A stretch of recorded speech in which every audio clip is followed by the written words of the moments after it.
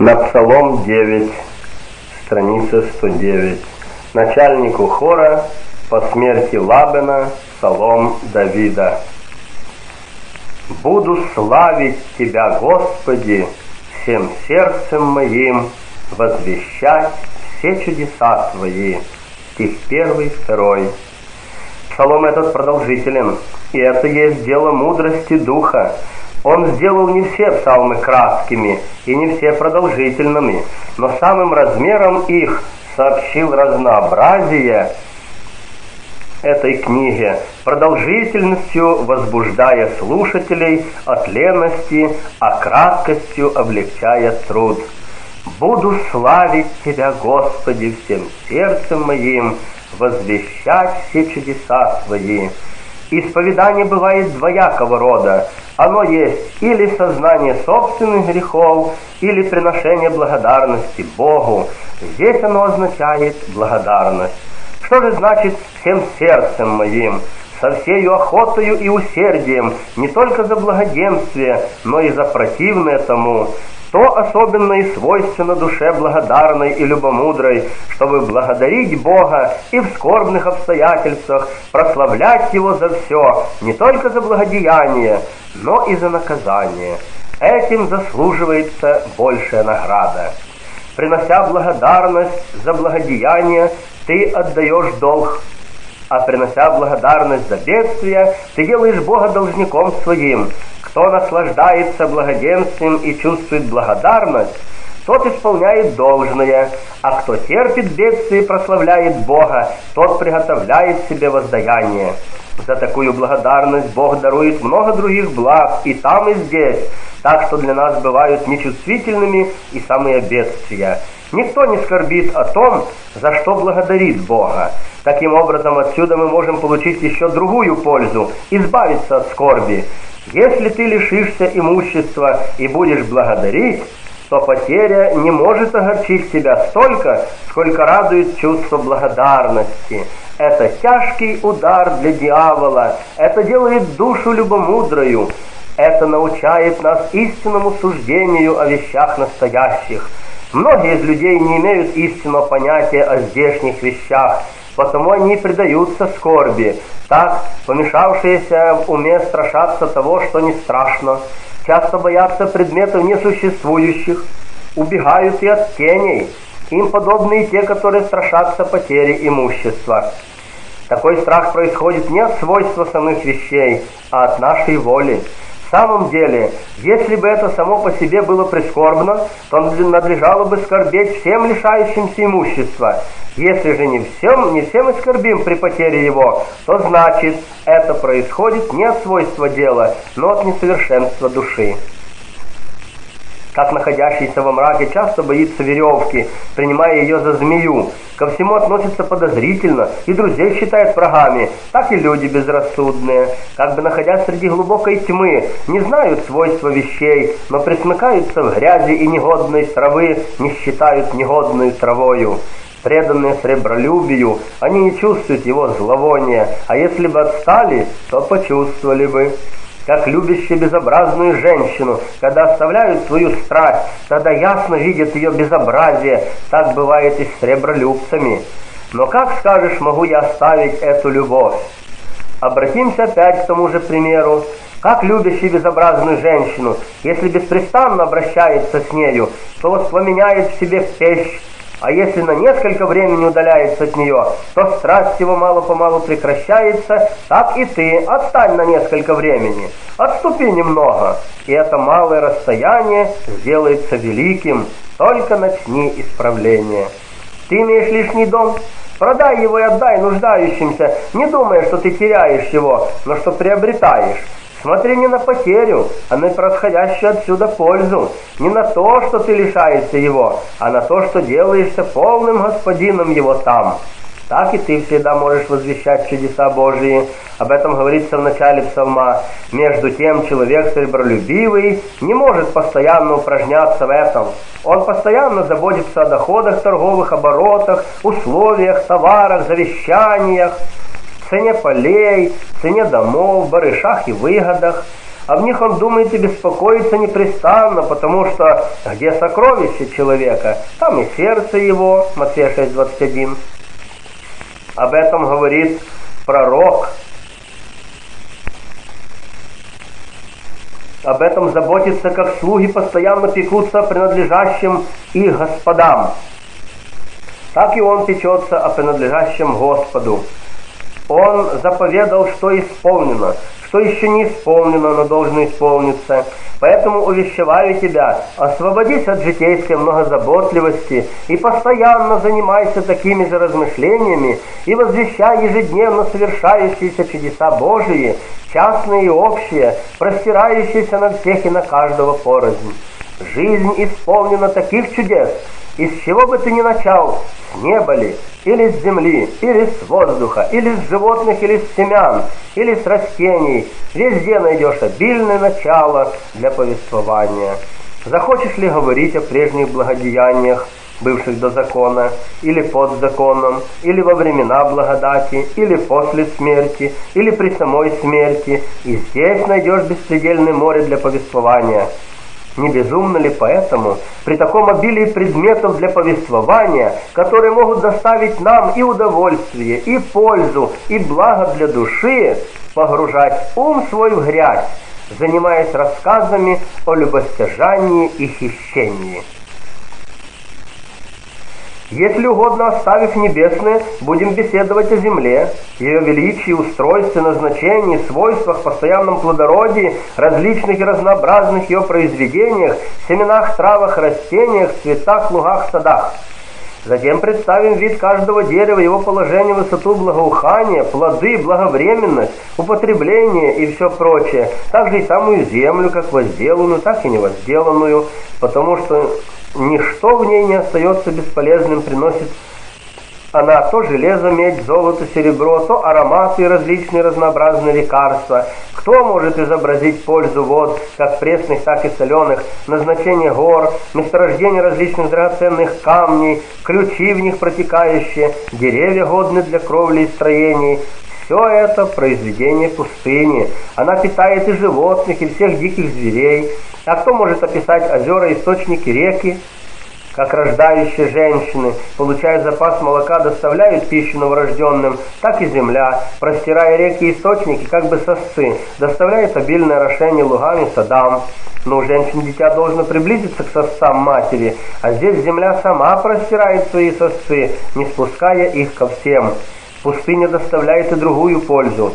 Она весьма благоприятствует телесному здоровью, доставляя возможность дышать чистейшим воздухом, обозревать с высоты всю Вселенную, в уединении предаваться любомудрию и отдыхать от забот житейских.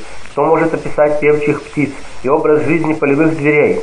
Пустыня доставляет еще иную пользу. Она нередко служит для селения вместо стен, представляя возвышающиеся горы, пропасти и утесы. Кто может исчислить травы в ней растущие, приносящие великую пользу страждущим телесными болезнями? Если же такова польза и так много благ от пустынь и гор, то, обратившись к земле возделанной, к ее широким полям, представь, какой здесь найдешь источник для повествования.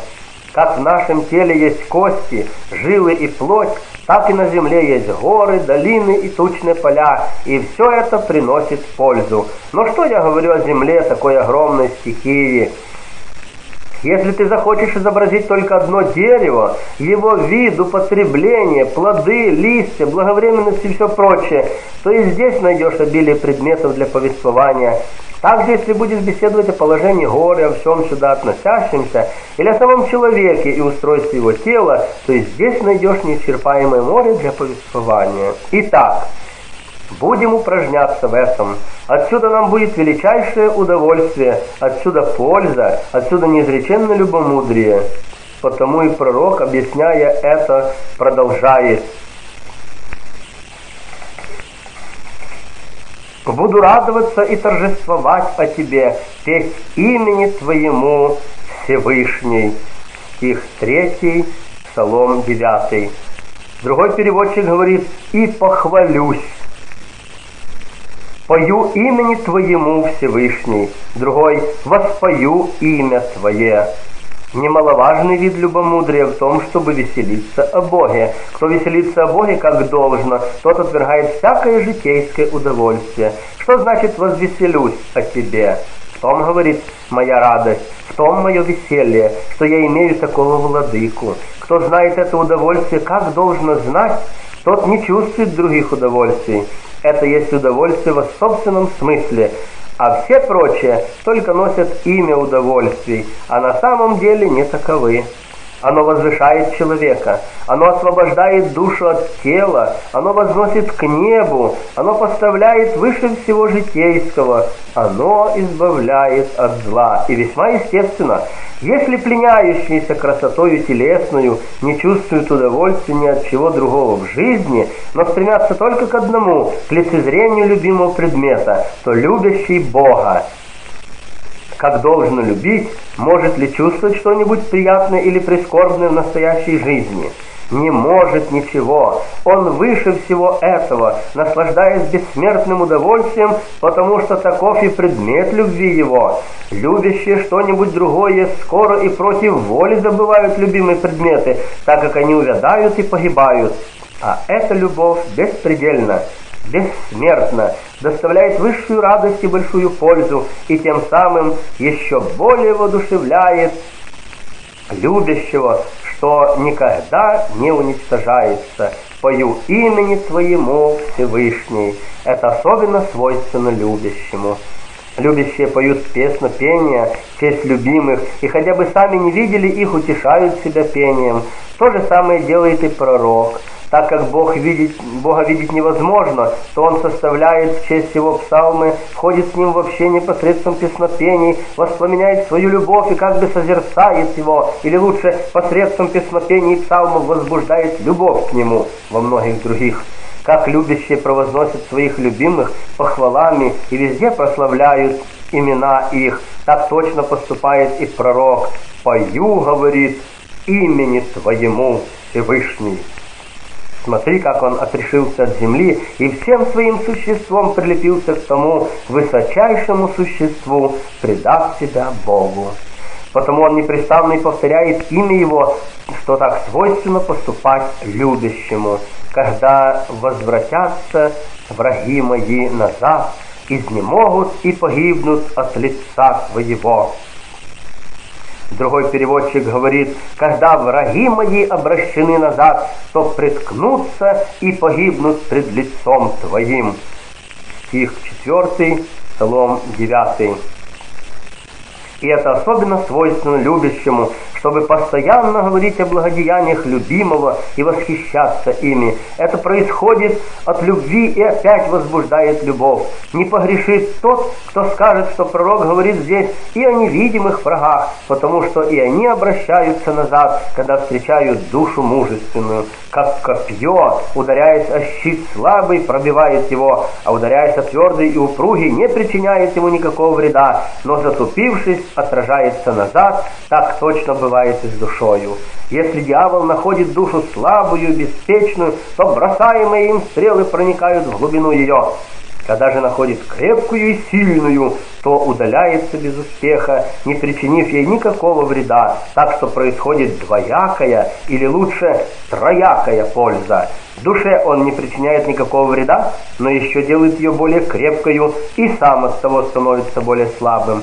Смотри, как пророк возвещает силу Божию. «Изнемогут и погибнут», говорит, от лица своего. Слыша опять о лице Божьем, не подразумевая ничего телесного. Здесь он выражает деятельность и явление Бога и легкость, с какой действует сила Его. Как говорит он в другом месте, презирает на землю, и она трясется. Псалом 103, 32. То же самое он выражает и здесь. Одного взгляда его достаточно для того, чтобы погубить нечестивых. Если присутствие святых делает силу бесов бессильную, то тем более присутствие Божие. Если молния его, являясь, устрашает всех, то представь, как нетленная сила его устрашает и погубляет злых. Видишь ли свойство песнопений? Видишь ли способ славословия, как пророк возвещает силу Божию? Немаловажный урок любомудрия он преподает нам и здесь, в словах «Пою имени Твоему, Всевышний». Когда враги мои обращены назад. Какой же именно? Тот, что он не только во время бедствий, но и во время благоденствия не забывался. Многие, будучи смиряемы бедствиями, делаются более ревностными к добродетели, а наслаждаясь благами, становятся нерадивыми и беспечными, как говорит он далее об иудеях. Когда он убивал их, тогда искали его. Псалом 77, 34. Но не таков был псалмопевец. Он и во время благоденствия не забывался и бодрствовал. Немало научают любомудрию следующие слова. «Ибо ты производил суд мой и тяжбу мою». Стих 5. Псалом 9. Другой переводчик говорит «защитил меня». Ты воссел на престоле, судья праведный, вознегодовав на народы. Ты вознегодовал на народы, погубил нечестивого, имя их изгладил навеки и веки. Стих 5-6, Псалом 9. Посмотри опять на любомудрие этого мужа. Он не сам мстит врагам, но предоставляет суд Богу, исполняя заповедь апостола. Не мстите за себя, возлюбленные, но дайте место гневу Божию. Римлянам 12.19. И не только это нужно заметить, но и то, что он терпел бедствие незаслуженно. Если бы он терпел их не незаслуженно, то Бог не отмстил бы за него. Ты воссел на престоле, судья праведный. Здесь он выражается человекообразно, представляя престол и седалище. Слова «судья праведный» означают то, что особенно свойственно Богу и составляет отличительную принадлежность существа Его. О людях нельзя сказать этого. Они, как бы ни были праведны, не всегда судят по правде, не зная правды, иногда по невежеству, а иногда по беспечности. Бог же, будучи свободен от всего этого, и зная и желая, произносит суд праведный. Таким образом, слова «сел на престоле» означают «ты судил», «ты отмстил», «ты воздал». Запретил народом и погубил нечестивого. Видишь, как Бог не имеет нужды ни в оружии, ни в мече, ни в луке, ни в стрелах, но все это говорится человекообразно. Для Бога довольно запретить, и достойные наказания погибнут. А чтобы ты более узнал силу его, выслушай следующее. Ты вознегодовал на народы, погубил нечестивого, имя их изгладил на веки и веки. Стих 6. То есть погубил совершенно, вырвал с корнем, так истребил, что исчезла сама память о них. У врага совсем не стало оружия, у врага совсем не стало оружия. Стих 7. Другой переводчик говорит «развалины». В еврейском «пустыни» и грады разрушил их. Что это значит? Уничтожив, говорит, козни и замыслы нечестивого, ты лишил его собственного его оружия. Таков гнев Божий. Он все истребляет и уничтожает. Или, как научает нас другой толкователь, сказавший пустыне, ты не только разрушил города их, но и пустыни истребил, и города уничтожил. Так вел войну праведник, так он побеждал врагов своих, употребляя не оружие и копья, но имея помощь от Бога. Потому и война его блистательна, и славна, и победа торжественна. Погибла память их шумом, Другой переводчик говорит, погибла память их с ними. Что значит шумом? Означает или совершенное истребление, или общеизвестность бедствий. И это дело промышления Божия, что он совершает суд не тайно, дабы наказаниями одних исправлялись другие. Таким образом он выражает явность погибели. Но Господь пребывает вовек. Другой переводчик говорит «будет сидеть». Сидение часто употребляется в смысле неизменяемости существа Божия. Как Иеремия говорит «ты пребываешь вовек». Пророк часто говорит это при изображении наказания людей, выражая с одной стороны бессмертность существа Божия, а с другой смертность человеческого рода. Существо и величие Божие не имеют конца. Это, будучи непрестанно напоминаемо, внушает нам страх, чтобы мы боялись Бога и по той, и по другой причине, и по причине величия Его славы, и по причине ничтожества нашего собственного существа, и потому, что Он пребывает вечно, и потому, что Он наказывает вечно и ужасно. Когда нужно объяснить что-нибудь в переносном смысле, то не должно оставлять этого. Иногда нужно и в словах Писания подразумевать нечто другое, а иногда нужно понимать их только так, как они сказаны. Например, «Вначале сотворил Бог небо и землю» Бытие 1.1. А иные должно понимать иначе, нежели как они сказаны. Например, Пусть они будут принадлежать тебе одному, а не чужим с тобою. Источник твой да будет благословен, и утешайся женою юности твоей, любезною ланию и прекрасною серною. Притчи 5, 17, 19. Если ты, обратив внимание на эти слова и желая уразуметь смысл их, не отступишь от буквальных выражений, то увидишь, что было бы очень бесчеловечно не давать никому даже воды. А здесь идет речь о жене, о том, что с ней нужно обращаться целомудренно. Она называется источником и ланью по причине чистоты супружеского сожития. Здесь так, а других местах нужно принимать и самые слова, и подразумевать другой, выражаемый ими смысл. Например, в словах «как Моисей вознес змею» Иоанна 3,14. Здесь надо бы верить, что это было, а было действительно, и разуметь выражаемый этим прообраз Христа. Так и здесь не погрешит тот, кто отнесет сказанное псалмопевцем к иудеям ибо Ты производил мой суд и мою тяжбу. Ты воссел на престоле судья праведный, Ты вознегодовал на народы, погубил нечестивого, имя их изгладил на веки и веки. У врага совсем не стало оружия, и города ты разрушил, погибла память их с ними. Псалом 9, 5, 7 всей вселенной известны бедствия распявших Христа, города их разрушены, и дьявольские ухищрения остались тщетными действием промышления Христова, управляющего всем. Впрочем, оставим делать такие приложения любознательным и продолжим объяснение сказанного. Приготовил для суда престол свой. Другой переводчик говорит «утвердил на суд» и он будет судить вселенную по правде, совершит суд над народами по правоте. Стих 9. Видишь ли, как пророк мало-помалу усиливает речь. Упомянул о престоле, он изображает свойства этого престола, который составлен не из дерева или другого какого-нибудь вещества, но из правды. Он основан, говорит, на правде, и он будет судить Вселенную по правде. Говорит и о настоящем, и о будущем. Суд всеобщий будет там, а частный бывает и здесь.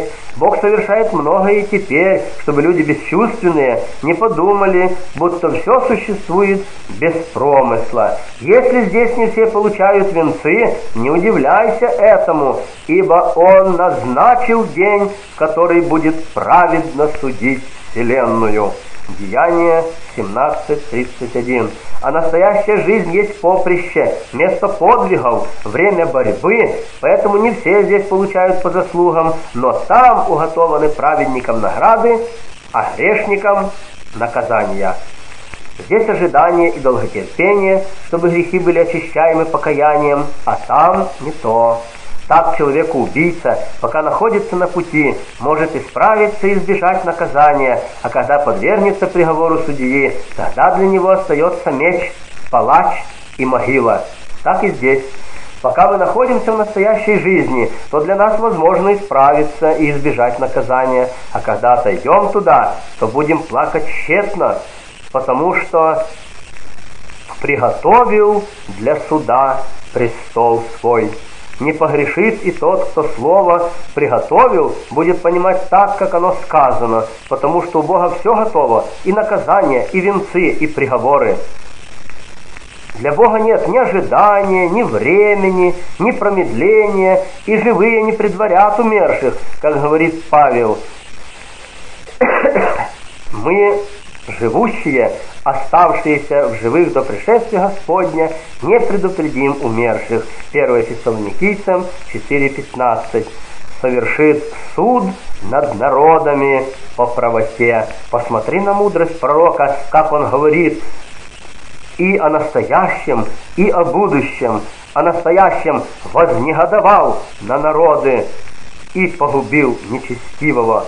О будущем приготовил для суда престол свой, и он будет судить вселенную по правде. Он делает это для того, чтобы неверующие будущему убедились доказательствами из настоящего. И будет Господь прибежище угнетенному. Стих 10, Псалом 9.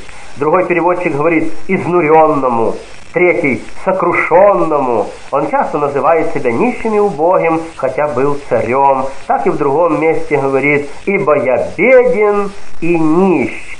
Псалом 39, 18. Он знал, ясно знал, что все человеческое ничтожнее тени, что у нас нет ничего собственного, кроме добродетели, а все прочее подобно листьям, приставшим отвне. А что добродетель есть наша собственность, это видно из следующего. Куда бы мы ни пошли, мы несем ее с собою, а все прочее нет. Следовательно, она собственность наша, а все прочее чужое. Как из людей мы называем своим того, кто близок к нам, так и добродетель мы называем принадлежащую нам больше, нежели богатство, потому что она всегда близка к нам. 117. Посмотри на признательную и любомудрую душу пророка, хотя он имел и коней, и войско, и многое другое, но оставив все это, он призывает помощь свыше и все свое, свое спасение возлагает на Бога. Не сказал, моим прибежищем были войска, или деньги, или стены, но будет Господь прибежищем угнетенному. Он сам говорит, доставил мне безопасность. Ничто не может сравниться с этим убежищем как по удобству, так и по безопасности. Прочие убежища подвергаются опасностям и не могут быть найдены скоро и в готовности, но бывают ненадежны и по времени, и по месту, и по множеству других обстоятельств. А это убежище находится близ тебя, если только ты будешь тщательно искать его. Тогда ты воззовешь, и Господь услышит. Исаия 58.9 Разве я Бог только вблизи, а не Бог и вдали? Иеремия 23.23 Здесь нам не нужно не бежать, не предпринимать путешествия, но и сидя дома можно находить это убежище. Иногда Бог избавляет от опасностей, а иногда через них делает людей славнее, сильнее врагов. И при том, как то, так и другое подает надлежащее время. Если находящие это убежище ведут себя смиренно, то он подает то и другое. Если же они не вполне показывают такую добродетель, то он ограничивается первым, чтобы они, получив и второе, не возгордились. А что действительно это часто доводит до гордости, можешь убедиться примером Езекии, который возгордился именно по той причине. Впрочем, Бог не забыл его, но так как счастливая победа поселила в душе его гордость, посредством болезни довел его до раскаяния. Исаия 38, 1. В надлежащее время благовременно. Здесь пророк говорит о двоякой благовременности, о том, что Бог помогает и что помогает в надлежащее время. Благовременностью он называет здесь скорбь. Почему? потому что она есть мать любомудрия, может освободить человека от смерти и особенно привлекает помощь Божию. При ней исчезает ленность и беспечность, при ней мы делаемся усерднейшими в молитвах. Как ненастное время есть самое лучшее для земледелия, так и скорбь для попечения душе. Хотя мы всегда имеем нужду в помощи Божьей и во время благоденствия, но особенно тогда, когда находимся в скорби. Помощник – Этим выражением он внушает нам и нечто другое, именно то, что и сами мы должны быть деятельными, так как помогающий помогает делающему. Поэтому мы не должны оставаться в бездействии, но привносить из своей стороны молитвы, милостыни и все прочее. И соратники помогают тем, которые сами сражаются, а не тем, которые пали духом и бездействуют. Итак, если хочешь получить помощь от Бога, не оставляй ничего зависящего от тебя самого. Так Иов получил помощь, потому что сам твердо стоял и боролся. Так и апостолы, потому что сами были деятельны. И будут уповать на тебя, знающие имя Твое. Стих 11, Псалом 9. Другой переводчик говорит, и будут надеяться. Пророк часто поступает так, обращается от молитвы к увещанию. Будучи учителем Вселенной и предлагая всем сокровища любомудрия, хорошо сказал он, и будут уповать на тебя, знающие имя Твое, знающие, говорит Тебя, Твое содействие и Твою помощь имеют прочный якорь сильную защиту и несокрушимую крепость в надежде на Тебя, не только обещающего избавить от бедствий, но не допускающего смущаться и среди самых бедствий. Подлинно, кто отрешился от всего человеческого и предался надежде на помощь свыше, тот не только получает скорое избавление от бедствий, но и среди самых бедствий не колеблется и не смущается, ободряемый надеждою на этот якорь. Так три отрока не только избавились из пещи, но и, находясь в печи, не смущались, потому что были уверены в помощи Божьей. Поэтому другой переводчик говорит, и будут надеяться, или будут уверены. Безопасность, происходящая от надежды на Бога, гораздо надежнее самой власти во время бедствий, потому что последняя есть человеческая, а первая – божественная и непреодолимая. Сказав, что Бог был помощником и прибежищем, пророк объясняет и то, как это бывает. Как же это бывает? Если мы постоянно надеемся на Него, если же Он не вдруг избавляет от бедствий, то это бывает для твоего испытания. Как имея возможность не допускать к тебе бедствий, Он допускает для того, чтобы сделать тебя более крепким. Так и имея возможность избавить от них в самом начале, Он медлит и отсрочивает для того, чтобы укрепить твое терпение, упражнять твою надежду и усилить твою любовь к Нему. Он не попускает нам непостоянно бедствовать, чтобы мы не отягчались, не постоянно благоденствовать, чтобы мы не пали. Ты не оставляешь ищущих Тебя, Господи. Другой переводчик говорит, ибо не оставил. Тоже говорится и в другом месте. Воззрите на древние роды и увидите, кто надеялся на Господа и призывал имя Его, тот не постыжался и не был презрен. Иисуса Сына Сирахова 2.10. Но как можно искать Бога, который существует везде?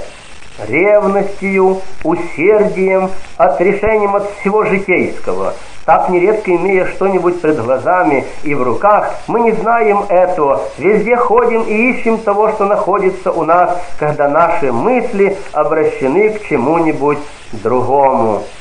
Взгляните на древние роды и посмотрите, кто верил Господу и был постыжен, или кто пребывал в страхе Его и был оставлен, или кто взывал к Нему, и Он презрел Его. Как же мы можем искать Бога? Если устремим к Нему свои мысли, если отрешимся от всего житейского. Кто ищет, тот стремится к искомому предмету, изгнав из души все другое. И не просто нужно искать, но изыскивать. Кто изыскивает, тот не только сам ищет, но и прибегает к помощи других, чтобы найти искомое. Из предметов житейских мы часто, ища чего-нибудь, не находим, а в предметах духовных не бывает этого. Но всякий ищущий непременно находит, потому что как только мы приступаем к исканию, Бог не попускает нам долго мучиться, как сам Он говорит. Всякий ищущий находит. Матфея 7.8 Пойте Господу, живущему на Сионе, возвещайте между народами дела Его. Псалом 9, стих 12. Что говоришь ты, тот, кому небо служит престолом и земля подножием, у кого в руке концы земли, Исайя 66, 1, Псалом 94, 4, обитает в Сионе?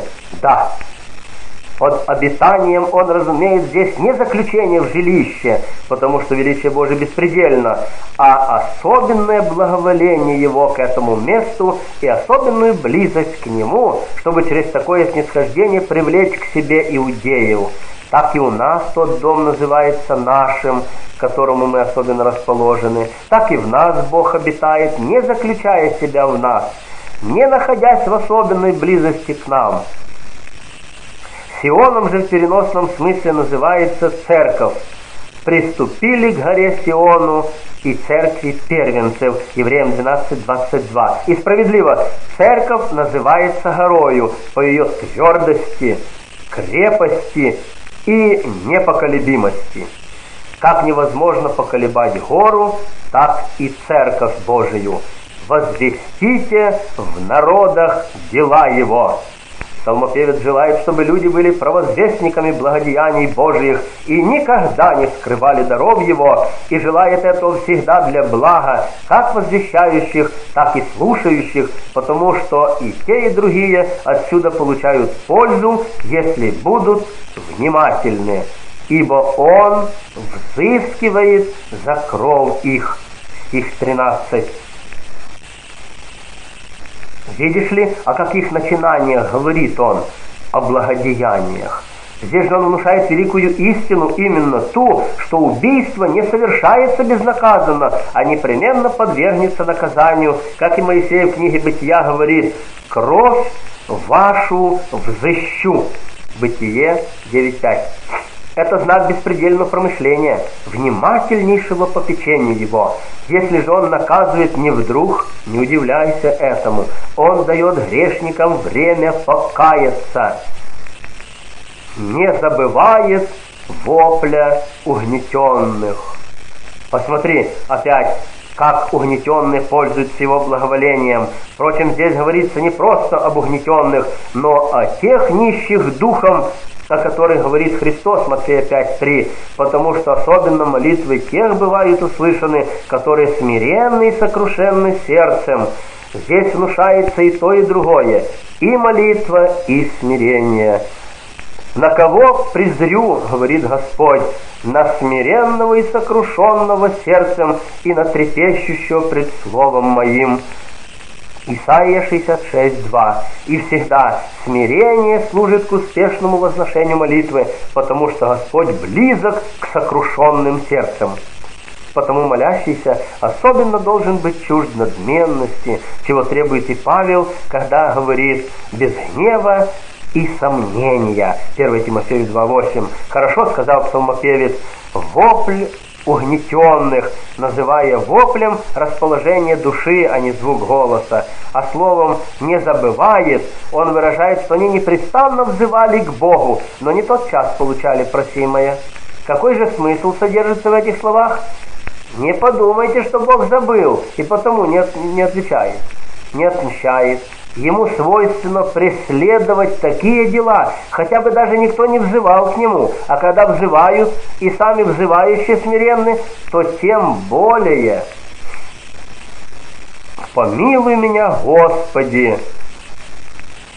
Воззри на страдание мое от ненавидящих меня, Ты, который возносишь меня от врат смерти, чтобы я возвещал всех хвалы Твои во вратах дочерей, дочери Сионовой, буду радоваться о спасении Твоем. Стих 14, 15, Псалом 9. Другой переводчик говорит «песнопения твои». Третий «похвалы твои». Посмотри, как пророк постоянно предается молитве, и, избавившись от бедствий, и находясь в безопасности, он не перестает молиться и говорит «помилуй меня», умоляя Бога о будущем.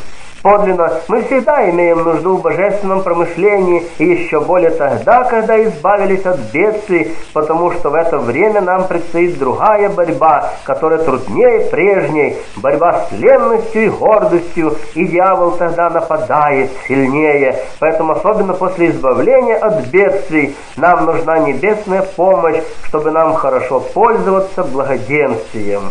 Так и иудеи, освободившись от египтян, вели жестокую борьбу с самонадеянностью и беспечностью, но они не могли вести ее хорошо. Почему тогда особенно и подвергались смерти? Они не могли мужественно стоять ни против чревоугодия, ни против малодушия, но подражали страстям египтян, которые погубили их.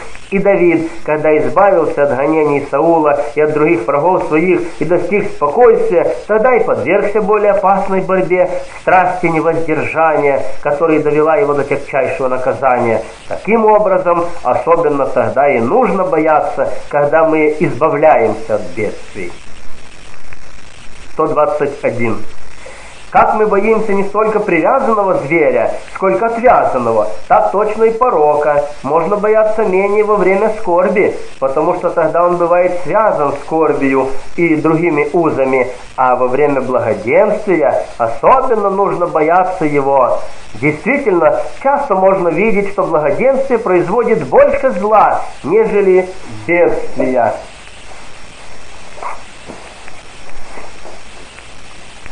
Так Езекия после победы едва не погиб. Потому и псалмопевец в другом месте говорит «Благо мне, ибо смирил меня». Псалом 98-71. И здесь он и спрашивает милости после избавления от бедствий, и причиной помилования приводит то, что он тяжко страдает. «Видишь смирение мое от врагов моих, и еще возноси от врат смертных. Я прибегаю, говорит, к защитнику и промыслителю, который всегда подает мне руку помощи.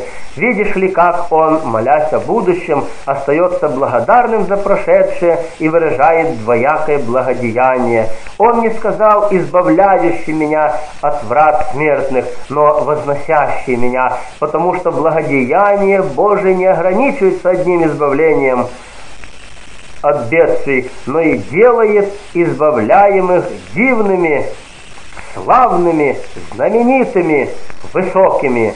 Также не сказал от двери, но от врат, выражая множество опасностей. Чтобы я возвещал все хвалы Твои во вратах дочери Сионовой. Что советовал делать другим, тоже делает и сам. Возвестите, говорит, в народах начинание его. Тоже теперь и я буду делать. И делать не просто в присутствии одного, двух или трех, но среди множества зрителей. Возрадуются о спасении Твоем. В этом мой венец, в этом моя диадема, чтобы одержать победу через Тебя, чтобы получить спасение через Тебя. Так и мы будем искать спасение не каким-нибудь образом и избавление от бедствий не как бы то ни было, но от Бога. Говорю это к тем, которые во время болезней употребляют заклинания и прибегают к другим чародействам для облегчения болезни. Это значит искать себе не спасения, а погибели, потому что величайшее спасение есть то, которое получается от Бога обрушились народы в яму, которую выкопали, в сеть, которую скрыли они, запуталась нога их. Псалом 9, стих 16. Другой переводчик говорит «погрузились». Пагубою он называет порог, потому что ничто так не губит нас, как порог. Нет, ничего бессильнее человека порочного нет. Он побеждается собственным своим оружием. Как железо гибнет от ржавчины и мех от моли, так и грешник от порока. Таким образом, грех еще прежде наказания Божие сам собою мстит тому, кто совершает его. Так как пророк много говорит о небесном правосудии и помощи Божьей, из которых первое открывается не вдруг, но часто замедляется и отсрочивается, от чего многие делаются еще более нерадивыми, то теперь он внушает, что наказание недалеко, что оно постигает людей порочных, как и Павел говорит – получая в самих себе должное возмездие. Римлянам 1.27. И смотри, какие точные он употребляет выражения. В самих себе, говорит, то есть насильно удержаны, подверглись неизбежному несчастью. Порочное, говорит, связывает себя неразрешимыми узами. Это сбылось на апостолах иудеях. Иудеи, восставая против апостолов, им не причинили никакого вреда, а себя подвергли бесчисленным бедствиям, лишившись города, свободы и всего прочего. Проповедь апостолов распространялась, а злоумышленники погибали. Так и ввергавшие трех отроков в Вавилонскую печь сами погибли от нее. Так было и при Данииле. Впрочем, при нем это произошло по справедливости, потому что ввергавшие сами ввергали его в ров. А почему при трех отроках, тогда как согрешил царь, подвергаются наказанию стоявшие при печи? Потому что они уже были объяты пламенем, послужив повелению тирана и поклонившись золотому изображению. Сети сей крыты.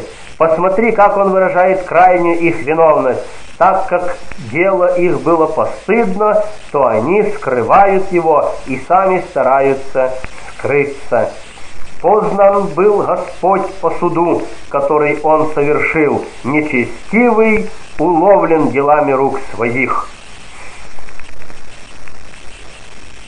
Другой переводчик говорит, познан был суд сотворив, наказуя, карая, отмщая. Видишь ли еще благодеяние от наказания? Оно не только делает наказуемых более ревностными, но и распространяет свет богопознания, и отсюда еще более можно видеть, как Бог печется о людях. Так, когда он позволил, чтобы стадо свиней бросилось с утеса и утонуло в море, тогда люди особенно испугались. Марка 5, 13, 18. Почему же он не делает этого постоянно? Потому что желает, чтобы люди не насильно, а добровольно совершали дела добродетели, побуждаемые к тому не столько наказаниями, сколько благодеяниями. Но скажут, не гораздо ли лучше быть добрым по принуждению, нежели злым по свободному расположению? Невозможно быть добрым по принуждению. Кто добр только потому, что связан, тот не останется добрым навсегда, но, получив свободу, возвратится к злу. А кто воспитывается так, чтобы сделаться добрым по свободному расположению и сделается таким, тот останется твердым в доброте. В делах рук своих увяз грешник, не сказал рук Божьих, но рук самого грешника – Видишь ли, как он разнообразит речь, представляя то наказание, происходящее свыше, то наказание, происходящее от порока. Где наказание свыше? Знаем, есть Господь, говорит суды творящий. Где наказание от порока? Углубились народы в пагубу сотворившую. И далее, изображая наказание, происходящее от порока, говорит, в делах рук своих уязвлен грешник говорит не об одном наказании Божьем, потому что Бог часто ожидает и медлит, и не об одном наказании от порока, потому что многие спокойно предаются Ему, но подтверждает речь свою тем и другим, поэтому и продолжает Поэтому и продолжает, в делах рук своих увяз грешник. Другой переводчик говорит, перстов своих. Таким образом, когда ты строишь козни, то не думай, что строишь их другому.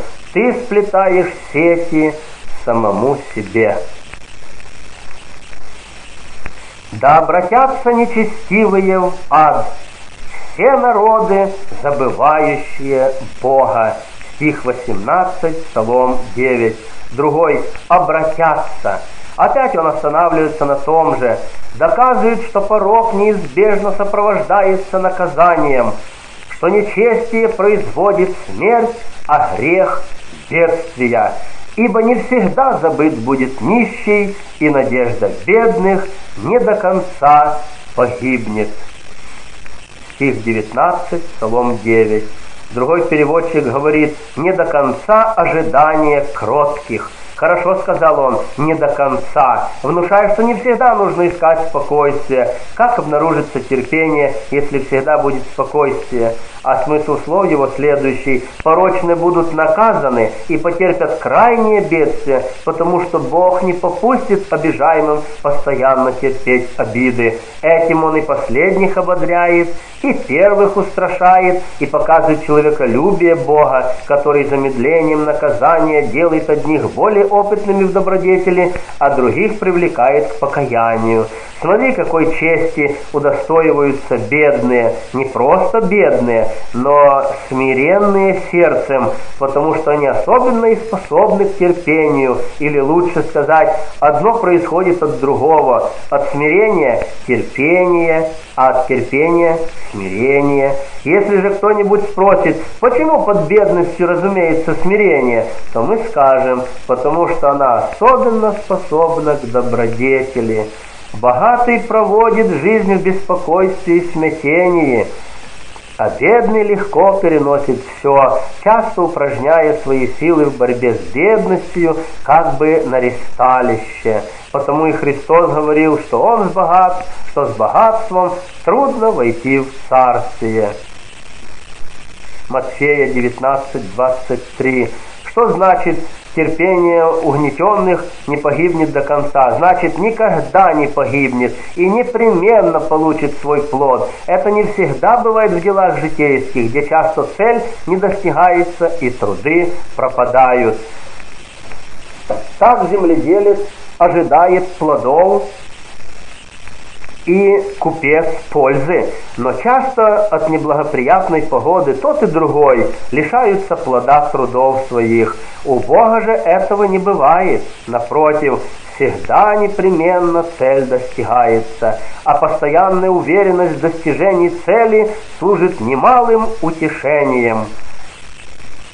«Восстань, Господи! Да не преобладает человек!» Да судятся народы пред лицом Твоим. Стих 20, Псалом 9. Другой переводчик говорит, да не будет дерзким, да судятся народы пред тобою. Другой, и пред лицом Твоим. Сказав о нечести, которая владела многими из людей, упомянул о пороках их – хищении, корыстолюбии, убийствах, пророк просит у Бога помощи обижаемым.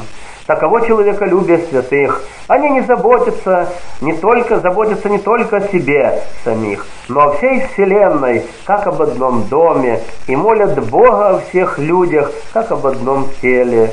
Восстань, Господи! Да не преобладает человек, отмсти, говорит, помоги, накажи несправедливых. И хорошо он употребляет такие прямые выражения. Восстань, Господи, и да не преобладает человек. Дабы показать, что человек ничтожен, происходит из земли, есть прах и пепел. Да судятся народы пред тобою. Что означают эти слова? Пусть, говорит, будут судимы за грехи свои. Они не сделались лучшими от твоего долготерпения. Потребуй же отчета в их преступлениях. Наведи, Господи, страх на них, да знают народы, что человеки они. Что значит поставь законоположителя над ними? Так как они, говорит, делают все самоуправно, и да будет для них наказание вместо внушения. Тоже говорит и другой переводчик, выражаясь так. «Наведи, Господи, страх на них». Смотри, как он желает им не наказания, но того, чтобы они научились, исправились и не жили беззаконно. Да будет им, говорит, наказание вместо внушения, и не только им, но и другим. А чтобы ты видел, какая отсюда польза, как это истребляет их болезнь, выслушай следующее. Да познают народы, говорит, что люди они. Смысл слов его такой. Многие утратили и это забыли, о своей природе дошли до безумия, не знают самих себя. И хорошо прибавил он, постоянно выражая, что нужно знать это не только во время бедствий, но и во время благоденствия. Если ты накажешь их теперь, то они, чувствуя сильный страх и помня постигшие их бедствия, будут знать свою природу и тогда, когда достигнут благоденствия. 126. Видишь ли, как пророк молится за них и желает, чтобы они оставили свое безумие? Подлинно не знать самих себя – крайнее безумие, хуже умопомешательства. Последнее есть болезнь невольная, а первое есть следствие развращенной воли. Для чего, Господи, стоишь вдали, скрываешь себя во время скорби? Стих 22, Псалом 9. Пророк говорит это от лица обижаемых, прося и умоляя Бога, а отнюдь не укоряя Его. Многие из страдающих, побуждаемые скорбью прежде надлежащего времени, просят произвести суд – подобно тому, как подвергающиеся отсечению просят врача оставить их прежде, нежели отсечение совершенно окончено. Просят вредного для себя, потому что не могут переносить боли. Они часто кричат врачам «Ты замучил меня! Ты погубил меня! Ты убил меня!» Но это слова не разума, а боли. Так точно говорят и многие из малодушных во время скорбей, не перенося трудностей. И Сафония также высказывает подобные слова. Сафонии 3.1. Но это в Ветхом Завете, когда требовались умеренные подвиги. В Новом же это не совместно с любомудрием. 23 стих, Псалом 9. По гордости своей нечестивый преследует бедного, да уловятся они ухищрениями, которые сами вымышляют. Другой переводчик говорит, да увязнут. Ибо нечестивый хвалится похотью души своей, корыстолюбец ублажает себя.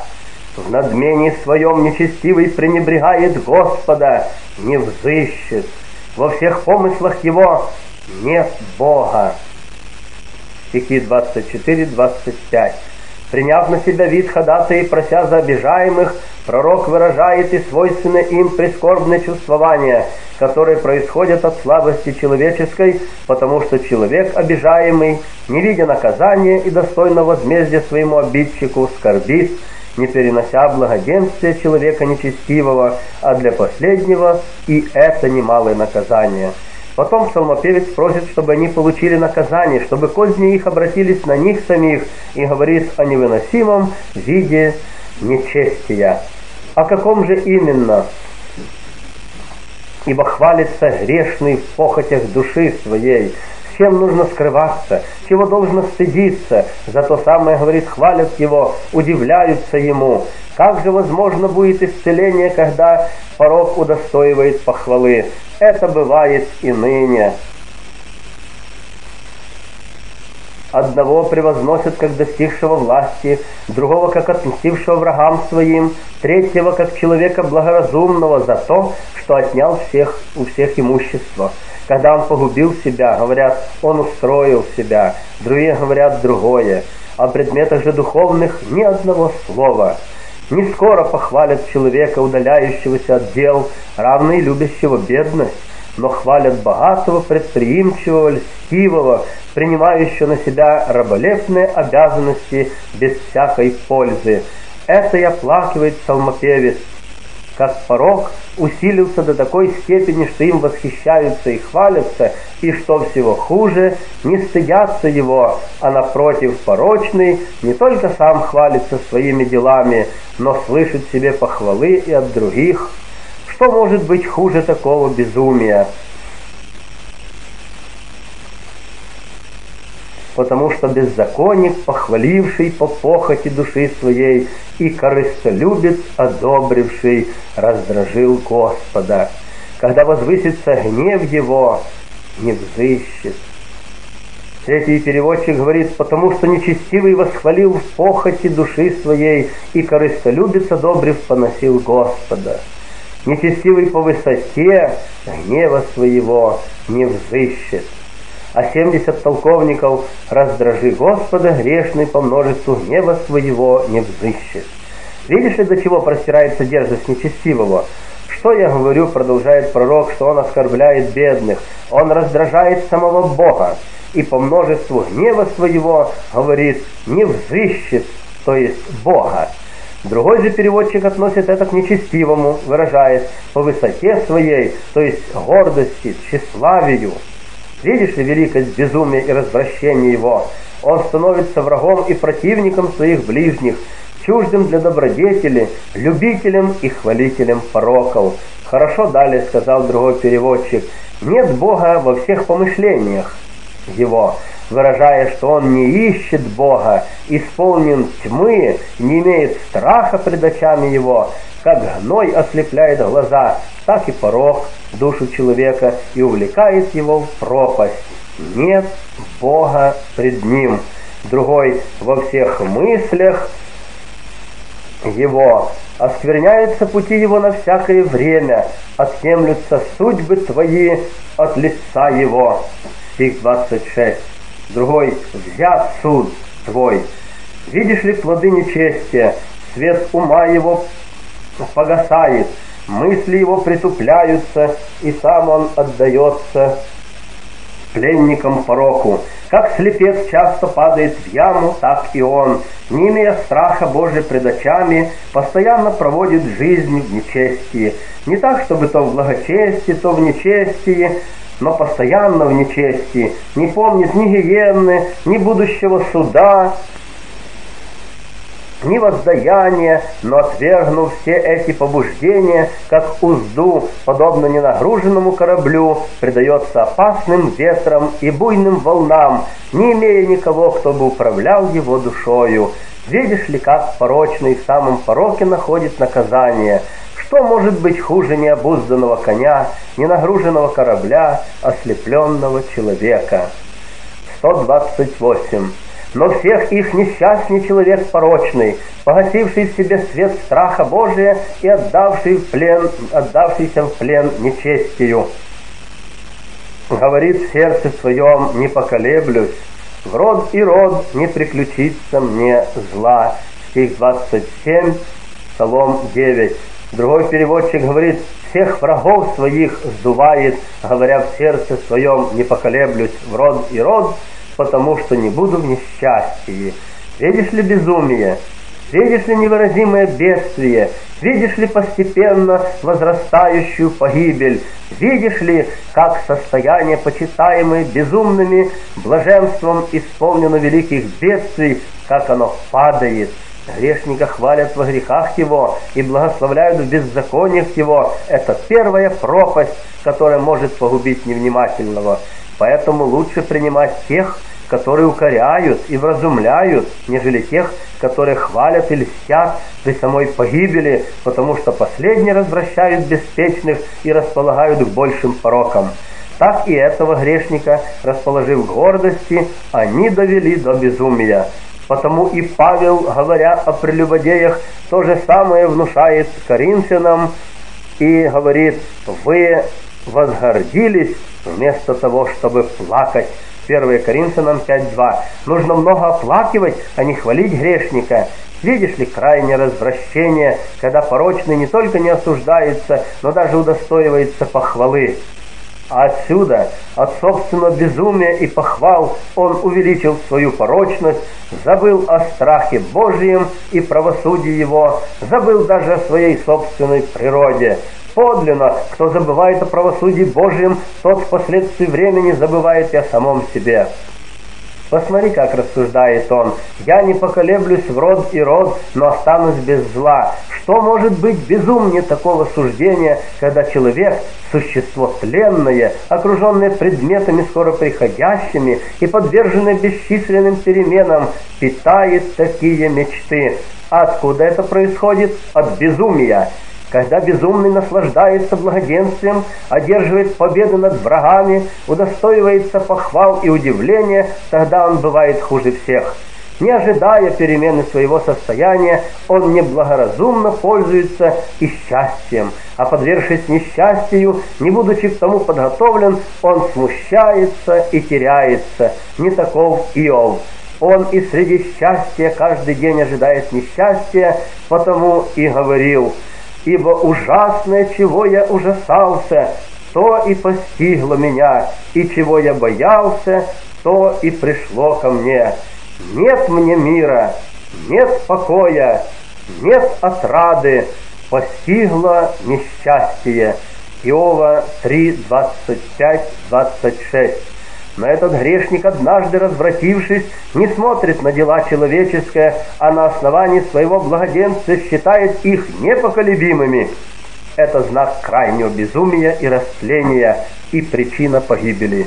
И так не считай блаженными людей богатых, одерживающих победу над своими врагами и получающих за это похвалы.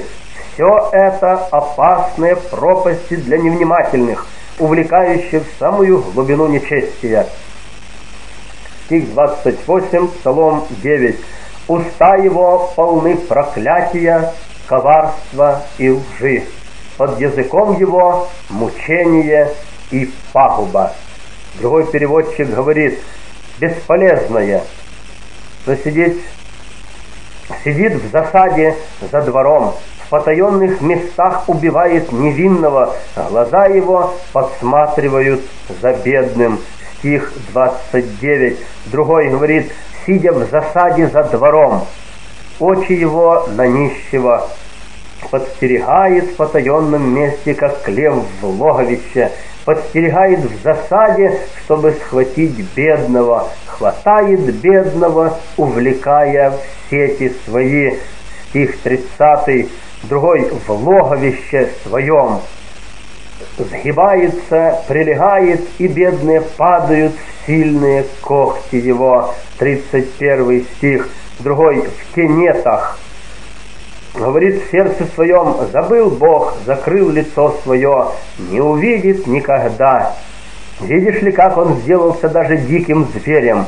Пророк описывает его как зверя, изображая его коварство, засады, умыслы. Кто может быть несчастнее и беднее его, если он нуждается в имуществе бедного? Его ли, скажи мне, мы назовем богатым? После этого можно назвать богачом и вора, и разбойника? Нет, говорит пророк. Что в том, что он не подкапывает судилищ и не нападает ночью, если он обманом погашает свет судьи? Что в том, что он нападает не на спящих, а всегда на бодрствующих? Он оказывается еще бесстыднейшим. Поэтому и законы сильнее наказывают мошенников, ворующих днем. Видишь ли его бедность и вместе жестокость? Бедность, потому что он желает принадлежащего бедному, жестокость, потому что он не трогается несчастьем ближнего, но вместо того, чтобы сжалиться и помочь бедному, сам притесняет его. Впрочем, дела его не останутся без наказания, но когда он будет чувствовать себя сильным, когда будет думать, что достиг своей цели, когда станет считать себя непобедимым, тогда и погибнет, чтобы открылись и мудрость Божия, и терпение бедных, и его неисправимость, и незлобие, и долготерпение Божие. Наказание не вдруг постигает его, потому что Бог своим долготерпением призывает его к покаянию. А когда он от долготерпения не получает никакой пользы, тогда Бог вразумляет его наказанием подвергшиеся его притеснению, не потерпели никакого вреда, но еще сделались лучшими и славнейшими от скорби. И Бог, ожидая, явил свое незлобие и долготерпение, а после долготерпения силу и могущество, поразив нечестивого тогда, когда тот считал себя сильнее себя самого. Так он, оставшись неисправимым, подвергся жесточайшему наказанию, и это немалое вразумление для благоденствующих. Итак, когда ты одержишь победу над врагами, и когда будет все тебе благоприятствовать, то не предавайся беспечно жизни порочной, но тогда ты и бойся еще более, потому что тогда возрастает твоя порочность, не остается для тебя оправдания, отнимается у тебя всякая надежда на прощение, если ты остаешься порочным. Говорит в сердце своем, забыл Бог, закрыл лицо свое, не увидит никогда.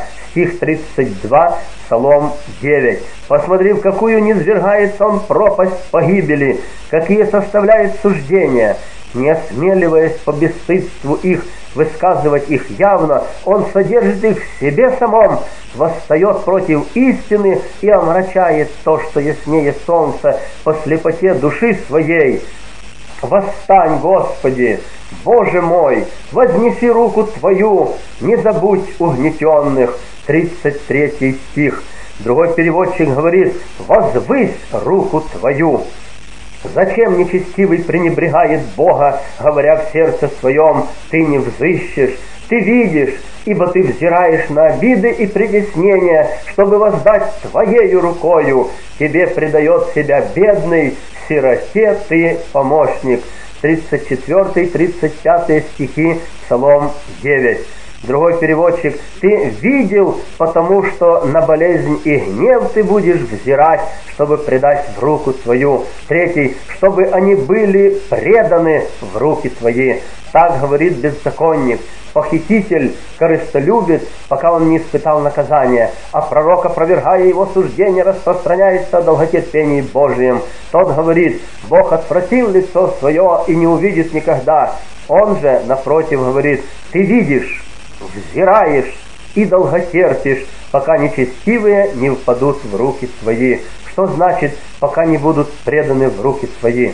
Пророк выразился человекообразно, а смысл слов его следующий. Ты долготерпишь, ожидаешь до тех пор, пока они не предадутся крайнему нечестию, хотя ты мог бы в самом начале остановить и истребить их, но беспредельно море твоего долготерпения ты видишь и не отмщаешь, но ожидаешь от них покаяния.